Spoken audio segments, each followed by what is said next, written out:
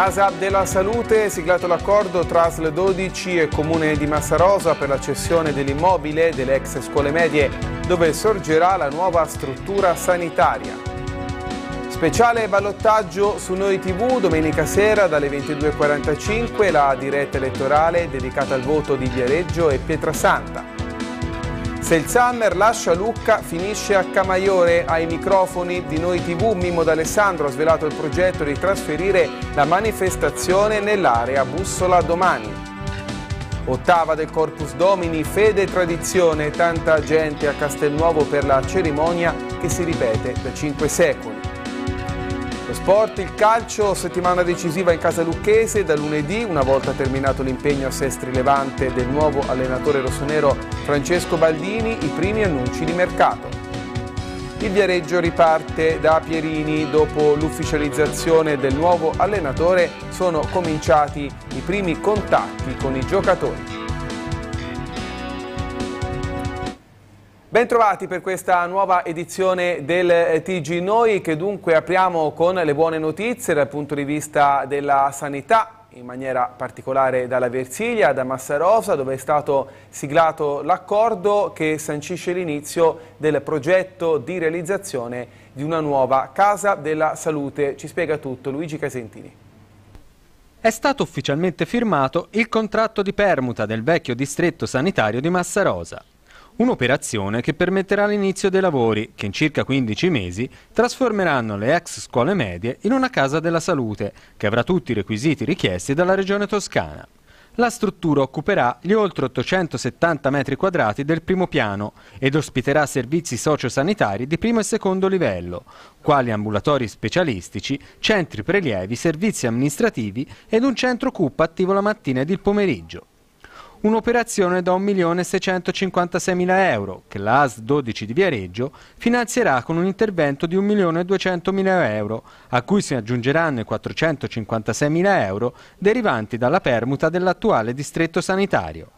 Nella Versilia ci sono già sei case della salute, però rimaneva questo questa mancanza e ci eravamo impegnati a, a, a sanarla e in effetti oggi ci, ci, riusciamo. Abbiamo fatto uno sforzo economico eh, considerevole perché si sta parlando di circa 1 milione e 6 eh, di investimento, però è anche vero che eh, il distretto del, di Massarosa era un distretto molto piccolo, angusto, e c'era la necessità anche perché Massarosa è il punto più lontano rispetto all'ospedale, quindi eh, è con soddisfazione che oggi firmiamo questo atto.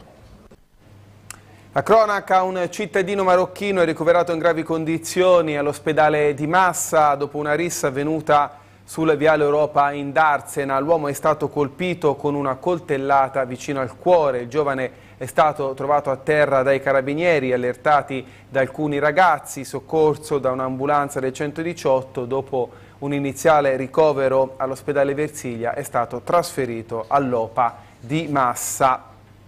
Pomeriggio a dir poco movimentato al Lido di Camaiore, il bagnino dello stabilimento Avvenire ha cercato di bloccare un ladro che aveva rubato la borsa ad una cliente ma il malvivente eh, per guadagnarsi la fuga lo ha aggredito, il ladro è fuggito sulla passeggiata ma è stato comunque bloccato dai carabinieri, si tratta di un marocchino di 44 anni arrestato per rapina impropria e lesioni personali. Il guardaspiaggio ha riportato per fortuna solo lievi ferite. E adesso parliamo di politica, ormai mancano pochissime ore al ballottaggio a Viareggio e Pietrasanta, ballottaggio che domenica sera Noi TV seguirà in diretta.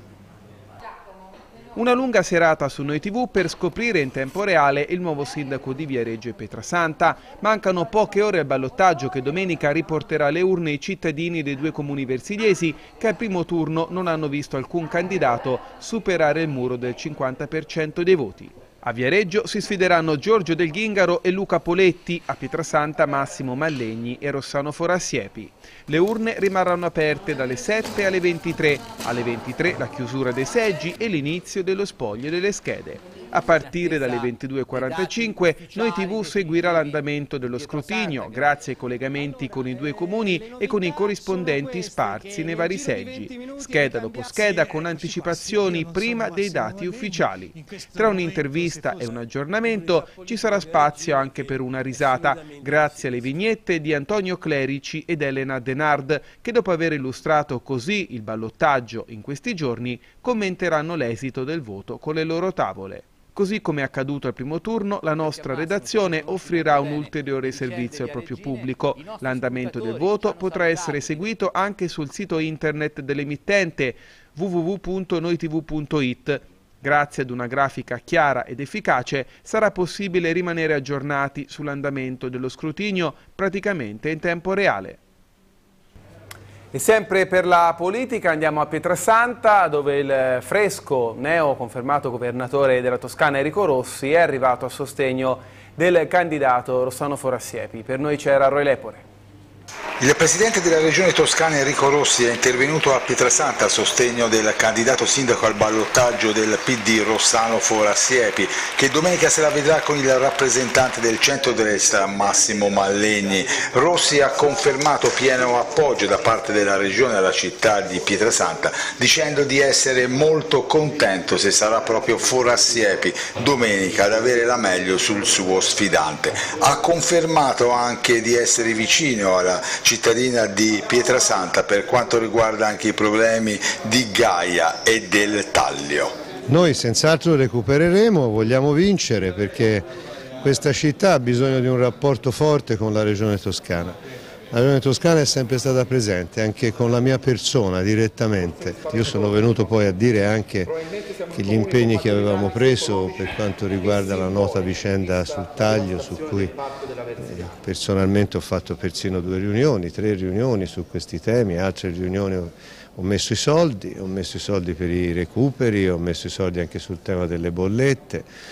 E penso anche che ci sia da fare un impegno ulteriore per il rilancio anche culturale e turistico della città. Una delle cose che dobbiamo senz'altro fare è rimettere a posto la Versiliana. Noi lo faremo, la Versiliana verrà ripiantumata come deve essere ripiantumata. Insomma, mi pare che anche sulla base di questo apporto concreto che la Regione dà ci siano tutte le condizioni perché il PD possa vincere. Il candidato sindaco Rossano Forassiepi ha chiesto alla Regione che sia a fianco di Pietrasanta e della Versilia tutta, proprio alla vigilia del ballottaggio dove spera di poter recuperare il margine di distacco rispetto alla prima tornata elettorale che ha visto in vantaggio il suo rivale Massimo Malleni.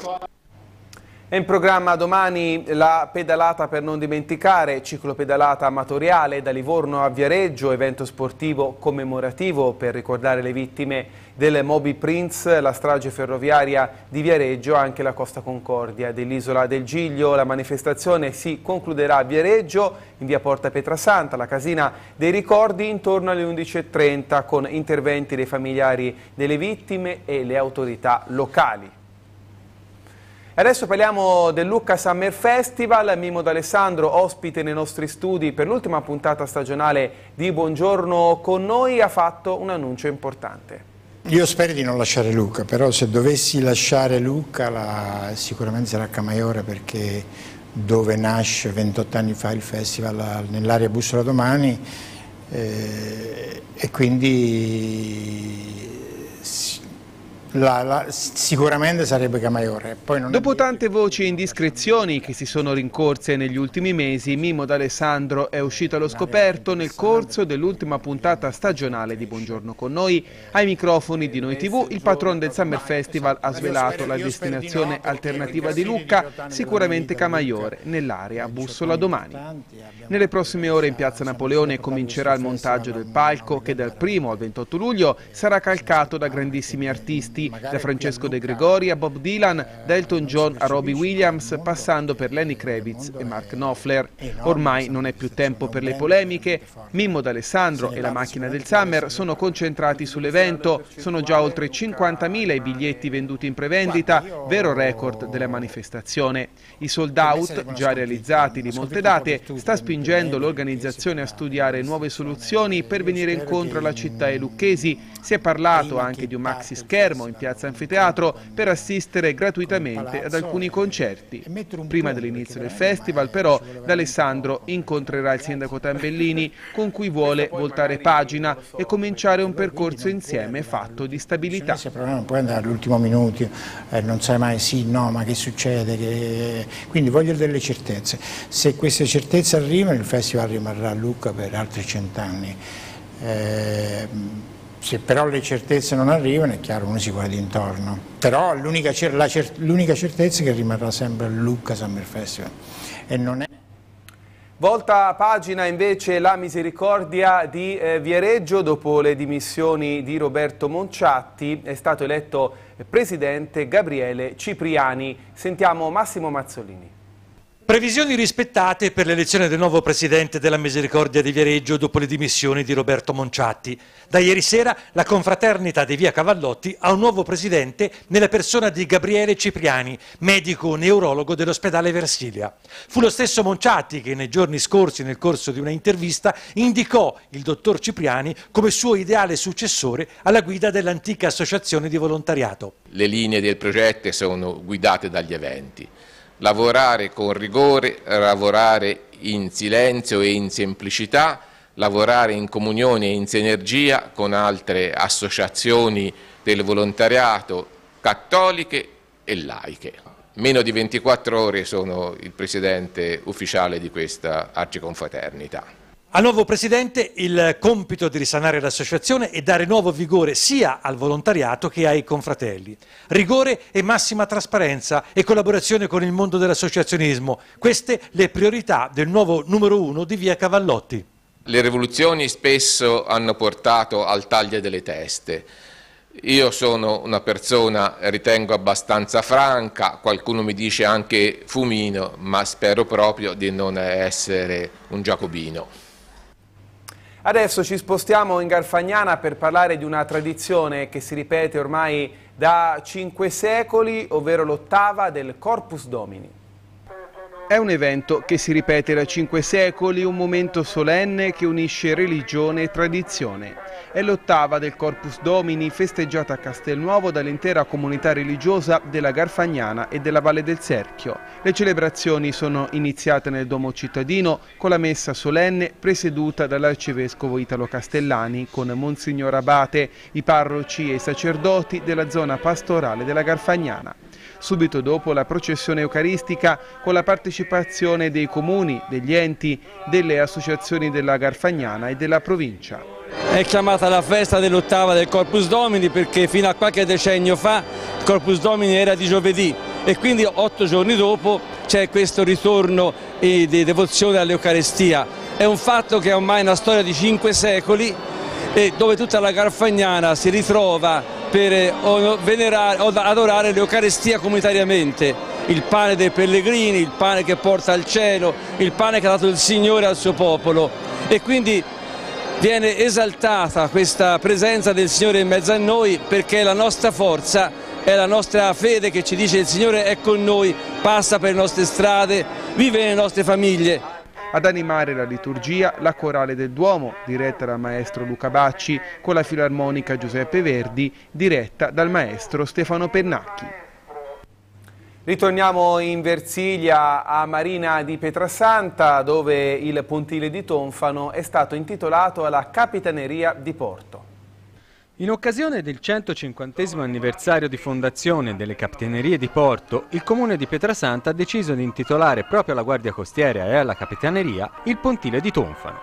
Con una cerimonia molto partecipata è stata scoperta la targa posta alla rotonda in cima al pontile dal sindaco Domenico Lombardi e dal comandante della Capitaneria di Viareggio Davide Oddone. Questa è stata per il sindaco una delle ultime cerimonie ufficiali e nell'illustrare le motivazioni di tale intitolazione ha anche chiesto al comandante Oddone di intensificare i controlli proprio sotto il pontile per evitare le situazioni di degrado che negli scorsi anni crearono grossi problemi di ordine pubblico. Presenti anche le associazioni di militari in congedo e il gruppo degli amici del Pontile, che ha contribuito a proporre questa intitolazione. Abbiamo ritenuto eh, utile, opportuno, ma anche doveroso dedicare e intitolare la rotonda del Pontile di Marina alla Capitaneria di Porto in occasione dei 150 anni della sua fondazione e il Pontile alla gente del mare, recependo quelle che sono state le richieste di numerosi cittadini che eh, ci hanno fatto pervenire. Il Comune di Pietrasanta ci ha fatto questo regalo, abbiamo questa rotonda intitolata al Corpo delle Capitanerie di Porto in occasione del 150 anniversario, quindi si può capire come per noi delle Capitanerie questa è una data importante e siamo proprio felici di questa intitolazione che dimostra proprio il legame che c'è tra la Capitaneria di Porto e il Comune di Pietrasanta e anche con gli altri comuni del litorale versigliese. E adesso, come ogni fine settimana, ascoltiamo l'editoriale di Sergio Talenti, l'ancora dedicata al pensiero dei ragazzi delle scuole elementari di Lucca rispetto alla città.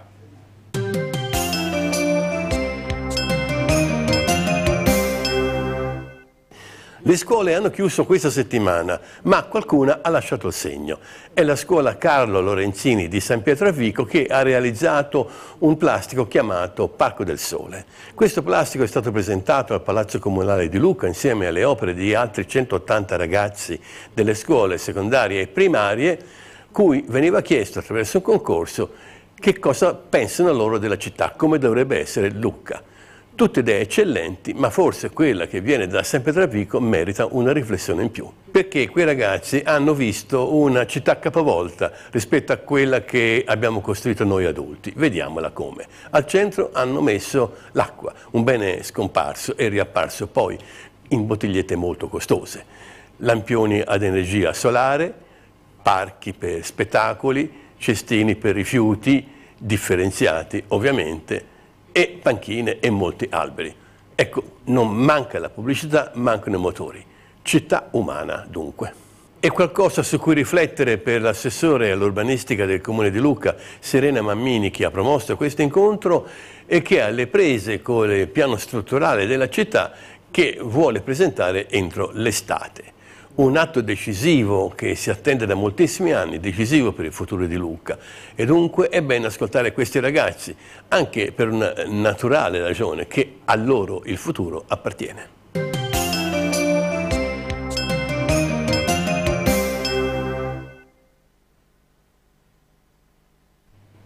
Domani sera torna su Noi TV parlando con molti santi nel mondo cattolico, sono ricoperti di gioielli, segno di antiche devozioni, ritualità e anche superstizioni. La tradizione non poteva essere evitata con uno dei santi più noti in Europa, il volto santo di Lucca. A questo sarà dedicata la puntata di Parlando con Luigi Casentini Jacopo Lazzareschi, racconteranno l'affascinante storia della vestizione del Volto Santo a Sergio Talenti, una storia che arriva fino al momento in cui viene inaugurata la linea ferroviaria Lucca-Pisa. Appuntamento domani sera alle ore 21 su Noi eh, TV. C'è un altro appuntamento, questo è un programma domani pomeriggio a Lucca, 13 anni della vita e della carriera di un protagonista del panorama musicale lucchese, raccontati attraverso lettere e cartoline. Questo è l'epistolario di Alfredo Catalani da Venezia a Colognora in Val di Roggio che verrà presentato domani alle 17.30 nell'auditorium del complesso di San Micheletto. E a proposito di musica, appuntamento con la musica, domani eh, pomeriggio su Noi TV alle 14.30 vi riproporremo l'italiana in Algeri, andata in scena al Teatro dei Rassicurati di Monte Carlo qualche settimana fa, trasmessa già da Noi eh, TV domenica scorsa, ha riscosso grande successo e dunque ve la riproporremo domani pomeriggio in forma integrale a partire dalle 14.30. C'è un altro appuntamento domani sabato a Villa Basilica, al campo sportivo sotto le scuole, è in programma la finale del Festival delle Spade, concorso nazionale canoro per canzoni inedite 12 concorrenti in gara, in palio uno stage di una settimana alla scuola del paroliere Mogol. La serata sarà presentata da Elena Innocenti, in caso di maltempo serata che si svolgerà nella sala convegni, sempre a Villa Basilica. È tutto per la prima parte del TG Noi, una breve pausa e poi la pagina sportiva.